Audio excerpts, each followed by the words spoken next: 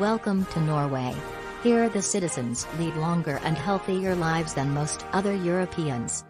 The Norwegian health system has among the highest share of health professionals. The Norwegian spending on healthcare on a per head basis is the fourth highest in the world. Life expectancy in Norway reached 82.7 years, nearly two years above the EU average and the number of deaths in Norway is quite stable. Let's see some stories from the citizens of Norway. Hi I am Alf. I have a cardiovascular disease.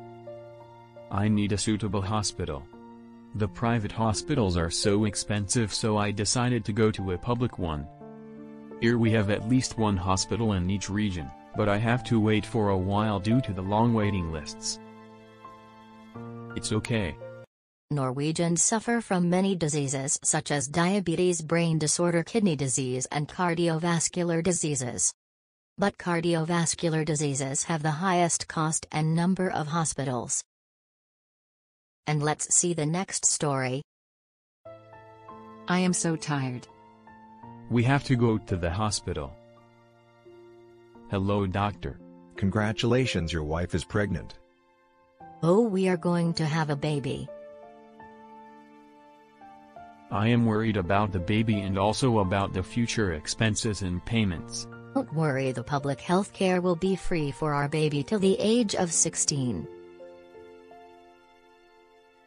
Finally we go back home with our baby and benefited from the healthcare support.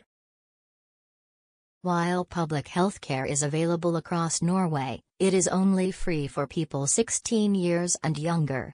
It also free for pregnant and nursing women, regardless of coverage.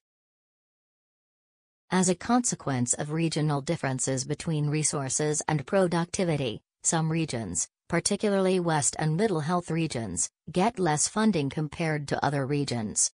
And the most number of beds is in the Southeast region.